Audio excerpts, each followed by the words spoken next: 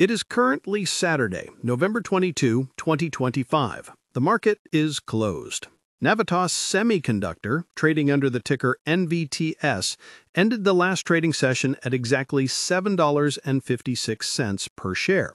While a cursory glance at the closing board might suggest a relatively flat finish with a marginal gain of roughly 0.1%, the intraday action tells a far more violent and significant story that you need to understand if you are holding this position or watching it from the sidelines.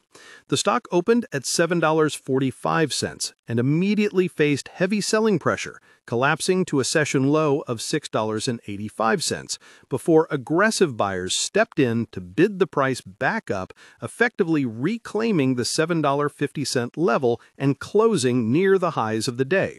This type of intraday reversal, a hammer candle formation on the technical charts, often signals a potential capitulation bottom, where weak hands have been fleshed out and institutional money is beginning to defend a specific price floor. In this case, that floor appears to be heavily influenced by the recent $100 million private placement, priced at $6.75, which acts as a psychological line in the sand for investors. When you look at a stock like Navitas, the expectation from the retail crowd, perhaps those trading casually on a Robinhood app or checking their SoFi Invest dashboard, is often that a semiconductor company in 2025 should be flying high simply because it is adjacent to the artificial intelligence boom. The prevailing narrative is that anything touching chips or power management should be drafting behind the massive momentum of NVIDIA stock. However, the reality for Navitas is starkly different and far more nuanced. The company is currently undergoing a painful, self inflicted surgical procedure that management calls Navitas 2.0, and this transition has created a massive disconnect between the company's current financial ugliness and its potential future dominance. The reality is that Navitas is not soaring on the AI wave right now. It is currently drowning in a revenue trough that they dug themselves in order to build a stronger foundation for 2026. If you are looking at this through the lens of a standard Schwab Intelligent Portfolios algorithm, the stock looks like a disaster falling revenue, widening losses, and high cash burn. But if you look closer, you realize that the collapse in revenue is a deliberate strategic exit from low margin, commoditized markets to clear the way for high performance data center dominance. This tension between the ugly present and the potentially explosive future is where the opportunity and the extreme risk lives. To understand why the stock is behaving this way, we have to analyze the recent earnings disaster that caused the stock to plunge initially. In the third quarter of 2025, Navitas reported revenue of just $10.1 million, which missed expectations and represented a massive year over year decline. Even worse, their guidance for the fourth quarter is approximately $7 million. For a publicly traded semiconductor company, $7 million in quarterly revenue is terrifyingly low. This is the point where most investors on interactive brokers or those managing their own individual brokerage accounts might hit the sell button. But you have to ask why the revenue collapsed. Navitas management has made the aggressive decision to stop chasing revenue in the low margin China mobile and consumer charging market. They're essentially firing their bad customers.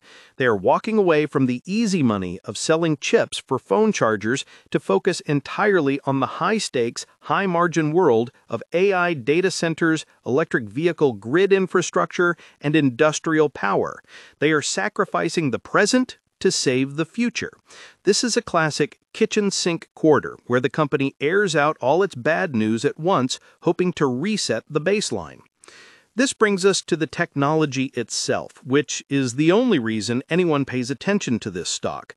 Navitas is a pure play on gallium nitride, or GaN, and increasingly silicon carbide, or SiC. Unlike the legacy silicon chips that have powered our devices for decades, the kind you might find in older Apple stock hardware or traditional appliances, GaN technology allows for power systems that are smaller, lighter, and significantly more efficient. In the context of AI, this is critical. AI data centers are power hungry beasts. They generate immense amounts of heat and consume gigawatts of electricity. Traditional silicon power converters are reaching their physical limits in terms of thermal management. GaN allows these data centers to run cooler and pack more processing power into the same rack space. This is why the recent partnership with Global Foundries is so critical. By partnering with a major U.S. foundry, Navitas is securing a supply chain that is shielded from some of the geopolitical tensions involving Taiwan and China, making them a more attractive partner for U.S. based tech giants. If you believe that AI data centers will continue to scale, you have to believe that power efficiency becomes the single biggest bottleneck, and Navitas is positioning itself to be the corkscrew that opens that bottleneck. However, we must address the financial elephant in the room cash burn. The company ended the quarter with about $150 million in cash, which sounds like a lot until you realize they're burning through it to fund R&D and operations while their revenue has temporarily evaporated. This is why the recent capital raise was necessary. They raised $100 million by selling shares at $6.75 to institutional investors. While this diluted existing shareholders, a painful pill to swallow for anyone holding the stock from higher levels, it also removed the immediate bankruptcy risk. It gave the company a runway to get through 2026. When you see the stock bouncing off $6.85 as it did in the last session, you're seeing the market respect that $6.75 level. Institutional investors who bought the offering are not likely to let the stock crater significantly below their entry price without a fight. This creates a unique setup where the downside might be somewhat defined by the deal price, while the upside depends entirely on execution. Let's talk about the broader market environment. We are seeing a divergence in how retail and institutional investors approach this. Retail traders using Robinhood crypto accounts or engaging in Robinhood stock trading often look for quick momentum. They see the chart moving down and assume the trend will continue. In contrast, institutional investors using Fidelity Wealth Management Services or Advanced Interactive Brokers trading platforms are looking at the enterprise value to revenue multiples for 2027, not 2025. They're betting that if Navitas captures even a small fraction of the power management market for the next generation of NVIDIA AI racks, that $7 million in quarterly revenue could scale to 70 million or $100 million very quickly. The 800 volt architecture that is becoming the standard for electric vehicles, pioneered by companies like Tesla, also requires the kind of high voltage reliability that Navitas is trying to prove they can deliver with their GeneSiC acquisition. It is also vital to consider the short interest. A stock that has fallen this much often attracts short sellers looking to profit from a total collapse. However, with the $100 million cash infusion, the bankruptcy thesis is largely off the table for the next 12 to 18 months. This creates a dangerous environment for bears.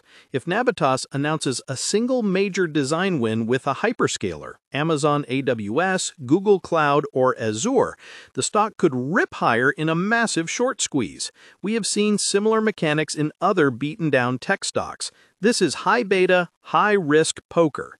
If you are the type of person who prefers the safety of Fidelity mutual funds or Fidelity ETFs, this stock is likely too volatile for your stock.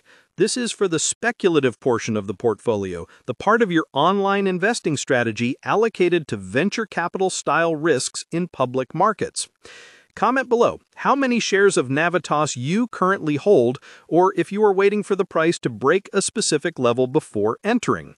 Do you think the Navitas 2.0 pivot is a brilliant strategic move or a desperate attempt to save a sinking ship? I want to hear your take on the management's credibility. Moving deeper into the Navitas 2.0 strategy, we need to discuss the timeline. Management has indicated that the revenue trough will persist through the fourth quarter of 2025, with the recovery starting in the first half of 2026. This requires patience, a trait that is in short supply in modern markets. The shift away from the China mobile market is significant because that market was a race to the bottom. There are dozens of domestic Chinese competitors making cheap GAN chargers for phones. Navitas could not compete on price there and maintain healthy margins.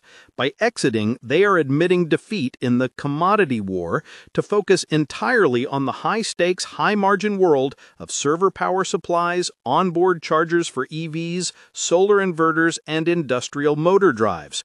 They are protecting margins, but this also lengthens the sales cycle. A phone charger design cycle is six months. A data center or EV design cycle can be two to three years. Investors are currently stuck in that waiting period, paying for the R&D today for revenue that won't arrive for another year. The partnership with Global Foundries is also a hedge against geopolitical risk. Many investors worry about supply chain concentrations in Asia. By having a U.S. manufacturer